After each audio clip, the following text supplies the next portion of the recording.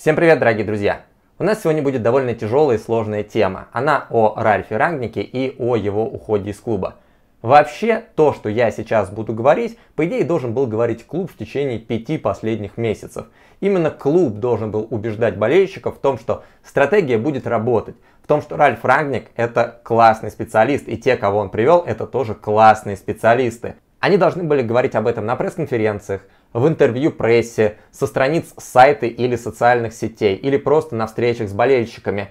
Говорить, показывать, показывать презентации, рассказывать, картинки, видео, все возможное пустить в ход для того, чтобы убедить болельщиков в том, что Локомотив будет таким сильным клубом, каким мы только хотим его видеть. Но ничего этого не было, клуб молчал, и вскоре работа Рангника и его команды стала обрастать какими-то мифами и подробностями, зачастую неприятными для клуба, и даже те, кто изначально верил в то, что все идет во благо, в конце концов перестал верить и стал слушать телеграм-каналы, которые, конечно, все это выставляли абсолютно в однобоком свете. За все это время было только пара попыток объяснить, что вообще происходит, и некоторые из них были совсем неудачные, вроде пресс-конференции. Сегодня, например, Карпу анонимный источник из клуба рассказал о том, что контракт Ральфа Рагника на 4 миллиона евро, это на самом деле контракт на всех 12 членов команды Рагника. Рагник получал достаточно большую часть и теперь, естественно, не будет ее получать, потому что Рагник уехал в Манчестер Юнайтед.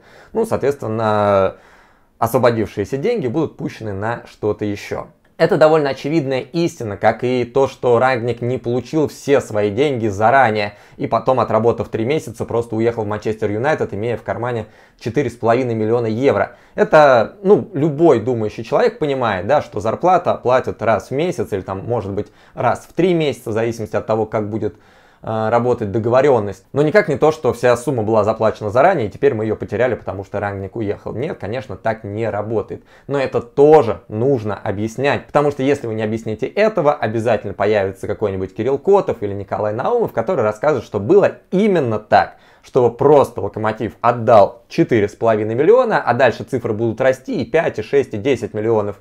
Ну, а Рагник их получил и решил то, что делать ему в Локомотиве больше нечего. Увы, но бороться с этим можно только разговаривать, только каждый раз объясняя свою собственную позицию. Как сейчас это сделали через Карпа, и вроде бы никто не умер. Все болельщики прочитали и поняли, ага, ну хорошо. Клуб этого не делал, поэтому закономерно огребал, огребает и будет огребать впредь. Но, пожалуй, в этот раз я все-таки впишусь и поработаю немножко за клуб, расскажу, что же все-таки происходило и почему в том, что происходило, была своя логика. Правда, я напомню, что самый лучший способ поддержать канал это поставить лайк к этому видео, подписаться, если вы еще не подписались, написать в комментариях, что автор вообще ничего не понимает в футболе, ну и разослать этот ролик всем своим знакомым. С обязательной программой разобрались, поехали восстанавливать хронологию событий. Начать стоит с конца 2020 года. Сейчас уже почему-то немногие помнят, хотя прошел всего год, но Локомотив к концу 2020 года подходил в просто кошмарном состоянии. Был третий подряд провал в Лиге Чемпионов. Локомотив стабильно набирал по 3 очка, занимал четвертое место и вылетал, освобождая себе весну на то, чтобы продолжать борьбу за попадание в Лигу Чемпионов на следующий год. В этот раз задача осложнялась тем, что в турнирной таблице Российской Премьер-лиги Локомотив занимал всего восьмое место с огромнейшим отставанием от первой двойки. На финише первой половины сезона Локомотив потерпел несколько сверхкрупных поражений, а в обороне блистал такой футболист, как Слободан Райкович. Из купленных за почти 15 миллионов евро на поле не помогал практически никто. У Камано за 15 матчей было 0 плюс 0, а за Луиш хоть и неплохо играл в Лиге Чемпионов, в российской премьер-лиге такое ощущение, что просто не появлялся. Для Жасура Желалединова, за которого заплатили практически миллион евро, места в заявке не нашлось и вовсе. От чемпионской команды, от тех футболистов, которые завоевывали чемпионство, от структуры клуба не осталось практически ничего. Давайте поблагодарим за это Василия Кикнадзе и Анатолия Мещерякова. И это важный момент, потому что в большинстве статей, которые мы читаем, за точку отсчета почему-то берется конец сезона 2021 в котором Локомотив завоевал кубок и бронзовые медали. Но это все уже случилось после ряда преобразований, которые сделали Плутник и Леонченко, новые руководители клуба. Если бы в конце 2020 года из РЖД не ушел бы Анатолий Мещеряков, а Василий Кикнадзе также бы и продолжил руководить Локомотивом, то не было бы никакой бронзы, никакого Кубка России с вероятностью в 99,9%. При этом первые решения руководства были довольно банальными. Эти решения мог принять кто угодно, не обязательно Плутник или Онченко, да, могла прийти Смородская, делала бы примерно то же самое. Ну, например, убрать престарелого серба, который пришел не весь зачем, в локомотив из серии «Б», и заменить его на более-менее качественного центрального защитника. Таким оказался Пабло, игрок, который поиграл во Франции, даже призывался в сборную Бразилии и в целом очень здорово вписался в коллектив. Кроме этого, в селекционный отдел, в котором на тот момент уже никого не было, назначили Андрея Федорова и Александра Самедова. У Александра Самедова не было никакого опыта, Федоров был тренером где-то в Узбекистане, работал в Рубине, ну а затем почему-то Андрея Федорова вообще в Казанку главным тренером переместили. В общем, довольно хаотично и очень укладывается в канву, как управляется обычный российский футбольный клуб. Для фундаментальной работы, для того, чтобы локомотив вырос во что-то больше, нужна была, конечно, помощь со стороны. Помощь пришла от Романа Абрамовича, который своему другу Александру Плутнику посоветовал Евгения Меркеля, который долгое время работал в Витесе. О связи Челси Абрамовича и Витеса вы, в принципе, наверняка все знаете. Меркель практически сразу приступил к изучению клуба и пошли какие-то небольшие преобразования. Я знаю, что Меркель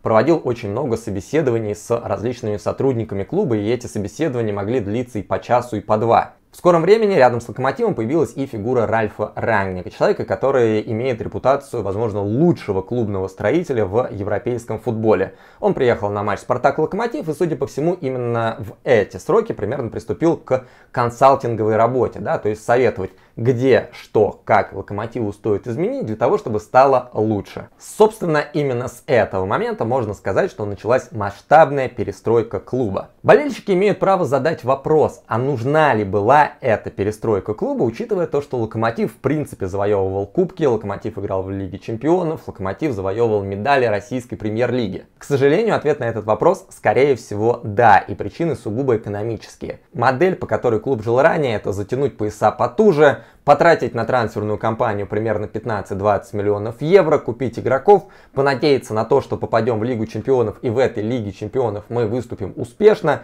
кое-как закрыть от доходов бреши и купить новых игроков для того, чтобы на следующий год снова выступать успешно в российской премьер-лиге и Лиге чемпионов.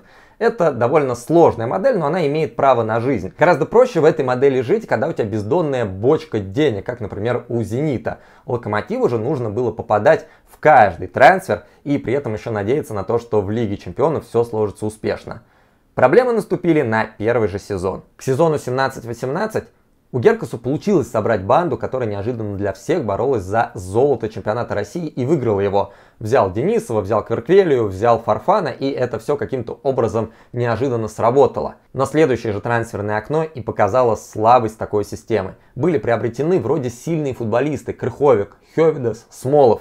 На них было потрачено порядка 25 миллионов евро. И отбить такую сумму можно было только успешно выступив в Лиге Чемпионов, благо мы были в первой корзине и соперники у нас должны были быть не очень сильными. Но чем все закончилось, вы знаете а в декабре Илья Леонидович покинул клуб. Мы не знаем причин, по которым Геркус покинул клуб, и навряд ли уже когда-нибудь узнаем. Но я думаю, что финансовая причина была одна из тех, которые озвучивались Илье Леонидовичу. Сами по себе футболисты, которые покупались в то трансферное окно, на самом деле сильные. И Крыховик, и Смолов, и Хевидос, и Рифаджи Малединов, и даже Брайан Идову, который сыграл на чемпионате мира 2018 года. Но сейчас Спустя всего два с половиной года в клубе не осталось, кроме Смолова и Рифата Жамалединова, никого. Да и Смолов, судя по всему, скоро клуб покинет. При этом клуб не очень много заработал на этих футболистов. Не так много в Лиге Чемпионов, потому что были сплошные поражения.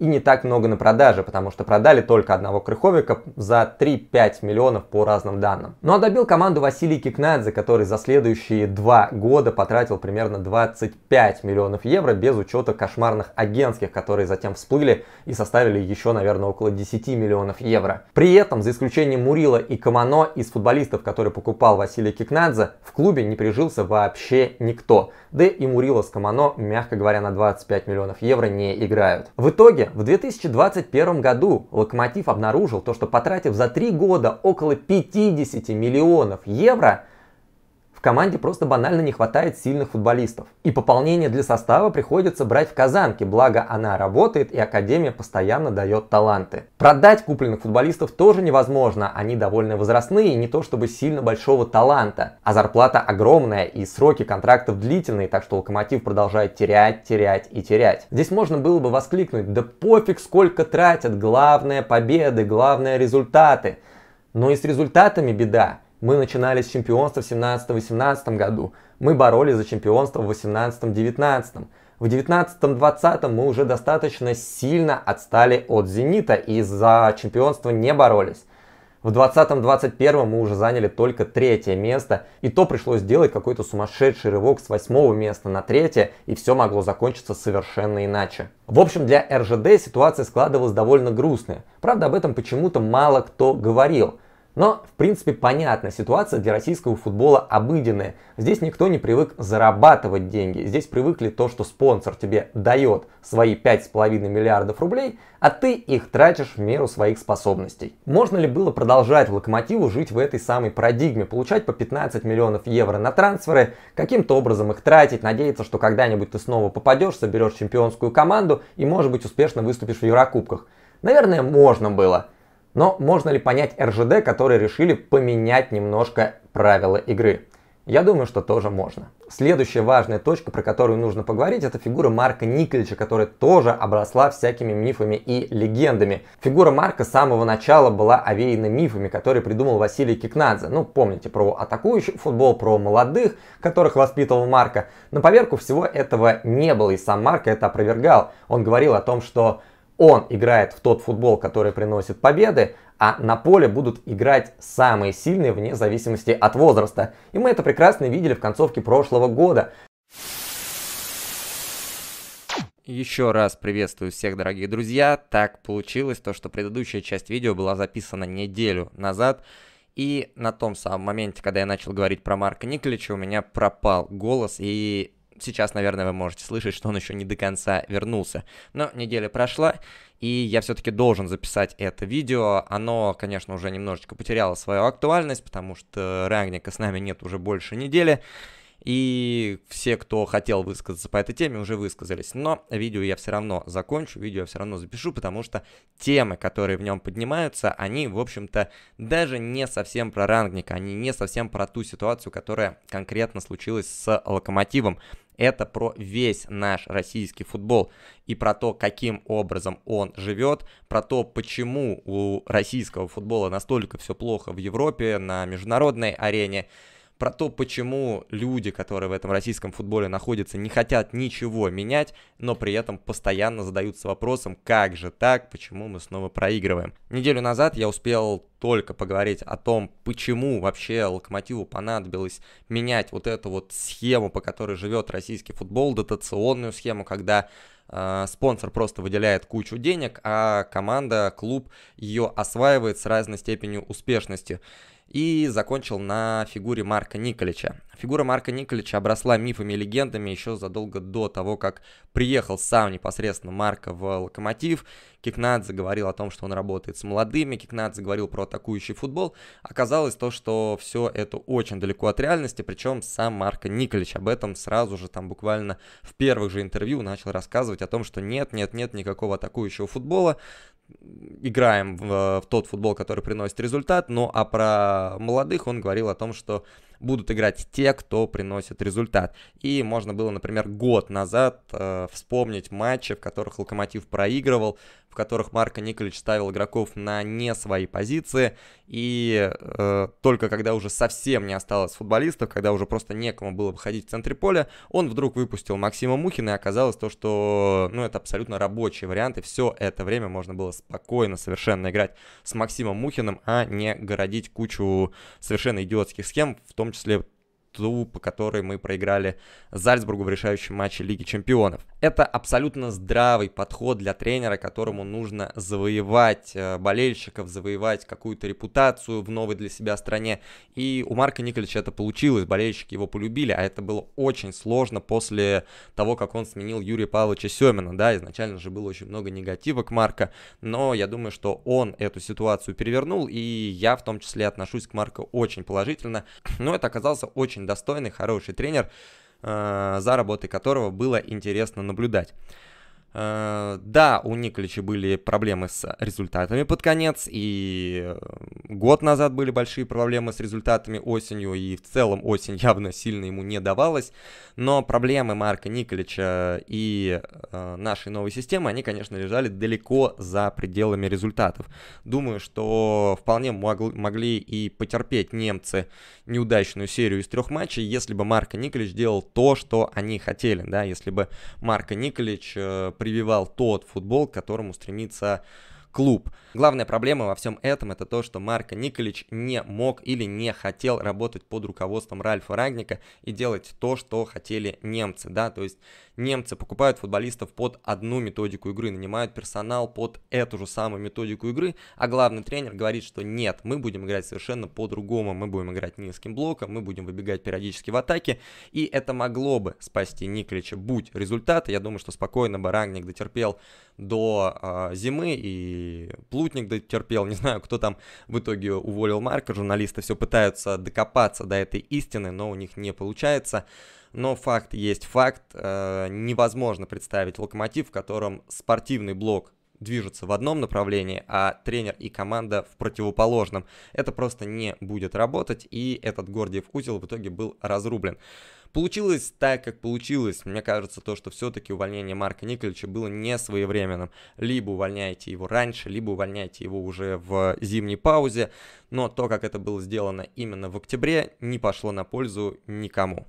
При этом, ну, в целом, если вы смотрели игры Локомотива под руководством Марка Николича в августе, в сентябре, ну, я думаю, что вы прекрасно понимаете, что Э, Локомотив не показывал никакой чудо игры, Локомотив не показывал никаких чудо результатов. Да, какие-то очки мы набирали, да, какие-то победы одерживали, но обычно это были какие-то очень натужные победы, волевые победы, а, очки набирались там на последних минутах, как, например, с Зенитом, когда пенальти, право на пенальти получили, или с какими-то чудо-отскоками, как с Динамо, когда Динамо там не попадало с метра по пустым воротам уже. В общем, э, спасти Николича могли только результаты, и когда результаты закончились, последняя спасительная лазейка для Марка в Локомотиве исчезла. Хороший ли тренер Николич? Да, безусловно. Была ли гарантия того, что если бы мы оставили Николича, то сейчас было бы лучше, или если бы мы оставили Николича, то следующую весну мы провели бы так же, как предыдущую? Ну, мне кажется, что довольно оптимистично говорить о таком. Так что имел ли Локомотив право пойти другим путем и сменить тренера Николича на тренера, допустим, Гиздаля? Ну, мне кажется, что имел. Другое дело, что увольнять Николича стоило только если у вас есть прям вот стопроцентный железобетонный вариант на замену. А уже сейчас понятно, что Гиздаль это был некий неким авральным вариантом, которого взяли только потому, что он был свободен и более-менее подходил под э, видение рангника того, как должен играть футбольный клуб. Третий момент, который очень важно обсудить, это, конечно, трансфер, потому что сейчас тоже, опять же, очень много разговоров идет о том, что вот, Рангник потратил 30 миллионов и уехал, и что теперь делать Локомотиву. Это, ну, довольно странные разговоры, потому что если вы посмотрите по трансфермаркту, если вы посмотрите просто предыдущие сезоны, вы увидите то, что Локомотив тратил по 15-20 миллионов евро в каждый из последних годов. И это нормально для Локомотива. Да, сейчас потратили немножечко больше, но сравните, насколько э, более качественные трансферы и насколько более интересные трансферы получились, потому что раньше, да, мог э, Василий Кикнадзе потратить 15 миллионов евро, купить Зе Луиша, купить Джорджевича, потратить 6 миллионов на аренду Жуао Марио, э, потратить там 2 миллиона на Лысцова, потратить на Жасура Желалединова 1 миллион. И в итоге мы сейчас видим о том, что этих футболистов просто в Локомотиве нету. И другое дело, да, когда вы покупаете Мардишвили, когда вы покупаете Бека-Бека, Керка и Тина Едвая и Наира Текнезяна, э, И уже сейчас, уже сейчас можно сказать, что эти футболисты провели на поле минут больше, чем все, кого купил э, Василий Кикнадзе в прошлом межсезонье за весь сезон. А сейчас прошла только половина, чуть больше.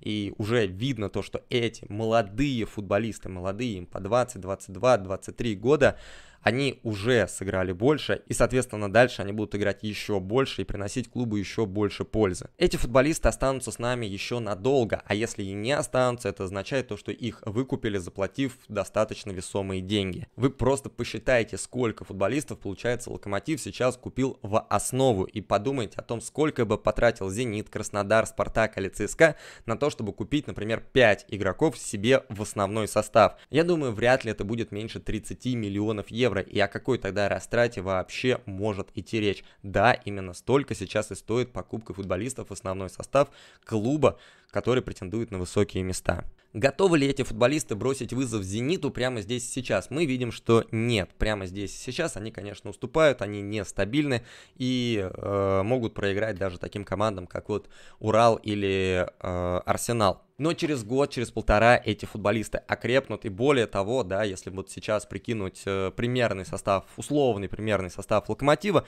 то мы можем видеть то, что даже через 5 лет футболисты, которые сейчас в Локомотиве играют и которые сейчас в Локомотиве в основном составе, будут в самом своем соку. А, там Бека будет по 25 лет, по 26 Мардишвили, по 30 лет, которые, ну, в общем-то, нормальные для защитника, будет Тину Едваю, а, Керку будет около 30, в общем, абсолютно рабочий возраст, и это значит то, что Локомотив имеет возможность следующие 5 лет развиваться эволюционно, а не меняя постоянно костяк команды. В отличие от приобретений прошлых сезонов, когда с каждым годом мы знали то, что футболист будет только терять свою форму и будет только хуже, да, то есть мы покупаем футболиста, например, Зе Луиша, и мы знаем, что он наиболее оптимален именно здесь и сейчас. Через год он будет хуже, через два он будет хуже, а через три а, у него заканчивается контракт, и мы его никому не продадим, и он уже просто перестанет играть. Вот так мы комплектовались раньше, и сейчас эта концепция была изменена. Эффективно ли были потрачены эти 30 миллионов евро? Мне кажется, что очень эффективно. Следующая тема это то, что вообще пытался сделать Рангник в клубе. Тоже многие, мне кажется, не совсем понимают, что Рангник не приходил в Локомотив спортивным директором, да, человеком, который вручную все контролирует, вручную утверждает каждую сделку по там, каждую тренировку, а, это все ему не нужно. Ну, по крайней мере, с этим бы он точно не пошел в Локомотив. Для этого у него там есть Миланы, Манчестеры, Лейпциги и прочие команды. В Локомотив он пришел консультировать, в Локомотив он пришел наладить клубную систему, клубную структуру, назначить на ключевые посты, так как он видел, как должен работать футбольный клуб, назначить адекватных людей, адекватных специалистов, которые могут уже работать самостоятельно и просто наладить взаимодействие этих самых отделов. Создать селекционный отдел и показать, как он должен работать, да, назначить туда Мёкеля главой этого самого селекционного отдела Валенвайна, Тома Рейнольдса, для того, чтобы они скаутили и отсматривали весь мир, и у них было большое количество кандидатов. Работу этого самого отдела мы сможем увидеть только в следующей межсезоне. То, что было до этого, это была просто штучная работа Рагника, да, потому что нужно было прямо здесь сейчас заполнить какие-то пустоты в нашем составе, которые образовались по разным причинам. Настоящая работа, может быть, даже не зимой будет видна, а только следующим летом. Вообще вся концепция работы Рагника, она направлена на постоянное самосовершенствование футболистов, на то, чтобы каждый игрок каждый день становился лучше, чем он сам в предыдущие дни. Это и медицинская работа, диетологи, и работа с э, тренером по физподготовке, и работа с видеоаналитиками, которые тоже очень много информации дают именно для личностного роста футболистов. Всего этого в Локомотиве не было, и все это теперь появилось. Но результаты этой работы, это, конечно, не двухмесячные, не трехмесячные, футболисты должны начать расти над собой, а это процесс не быстрый. Соответственно, результаты того, как футболисты, вот особенно молодые, 20-летние, а, начнут прибавлять, это тоже мы все увидим, ну, возможно, уже этой весной, может быть, следующим летом. Но требовать, чтобы эти футболисты показали результат здесь сейчас, тоже, мне кажется, достаточно преждевременно. здесь и сейчас должны были тащить старички, но некоторые старички поломались, а от некоторых оказалось толку очень мало. Ну, естественно, специалисты, которых нанимал Рагник, были так или иначе знакомы ему по различной работе в его предыдущих клубах. Он вообще знает весь футбольный мир, и поэтому не должно удивлять то, что Рагник приглашал специалистов, с которыми он пересекался где-нибудь в Шальке, в Хофенхайме или просто по работе в Германии, в Редбуле, в Австрии. Просто потому что, ну, футбольный мир тесен, и вы можете найти вот эти совпадения достаточно легко между любыми специалистами с мировым именем. Да, специалисты, которые в итоге пришли в Локомотив, они не то чтобы сильно имениты, за исключением, наверное, Ларса Корнетки, который работал с Гвардиолой и в целом э, достаточно востребован на европейском рынке. Но при этом надо понимать, что мы Локомотив, и э, вот мы позвали Рагника, и как только Рагник оказался нужен Манчестер Юнайтед, естественно, между Локомотивом и МЮ Рагник выбрал Манчестер Юнайтед. Но мы можем быть уверены, что такой ситуация не возникнет, например, с Кристианом Мёкелем, которого, ну, не позовет, например, условная Бавария, и он не соберет манатки. А я уверен, то, что любой специалист, да, например, если бы Шварц или Бучи сейчас позвала Боруссия или Бавария, то они точно так же бы покинули Динамо, как и Рангник уехал из Локомотива. Но мы набрали специалистов, которые э, по уровню Локомотива и которые готовы здесь и сейчас ему помогать и передавать все свои знания. И последняя вещь, про которую тоже, ну, уже много говорили, но надо еще раз повторить, это пресс-конференция, которая была дана по случаю э, представления стратегии Локомотива, на которую почему-то журналисты до сих пор очень странно отзываются и постоянно пеняют о том, что Рагник там не отвечал на вопросы, о том, что клуб пред представил какую-то странную стратегию, по которой хочет, оказывается, почему-то выигрывать чемпионаты России, далеко заходить в Еврокубках, э, продавать футболистов и вообще зарабатывать. Вот странный клуб, как вообще такое можно желать? Неужели нельзя просто получать деньги от РЖД и спокойно их тратить? Бесспорно, сама пресс-конференция, то, как она была организована, это крайне неудачный формат, потому что эта стратегия, это the больше обозначение своих целей, да, вот некий KPI, который нужно локомотиву выполнять и к которому он стремится. В то время как э, пресса, которая туда пришла, судя по всему, ожидала, что это будет какой-то бесплатный семинар Рангника, на котором он им за полчаса передаст все свои знания. Но такие семинары стоят достаточно дорого, и сам Рангник стоит достаточно дорого для того, чтобы просто брать и передавать все свои знания. Естественно, на таких пресс-конференциях говорятся общие слова, а общие слова, они больше нужны фанатам и болельщикам. Именно для болельщиков нужно было устраивать такое мероприятие, какое проходило на, в конце мая э, этого года, когда позвали актив болельщиков, которые задавали вполне себе грамотные, внятные вопросы, которые, в отличие от э, журналистов, посвящены в дела клуба, они спрашивают постоянно, кто уволил Марка и как называется Э, консалтинговое агентство Рагника и Корнетки. И в прямом эфире показать всем болельщикам, и э, чтобы Ленченко, Плутник, Рагник, Гиздель рассказали, к чему мы движемся, чего мы хотим, и, соответственно, дали какую-то надежду на лучшее будущее.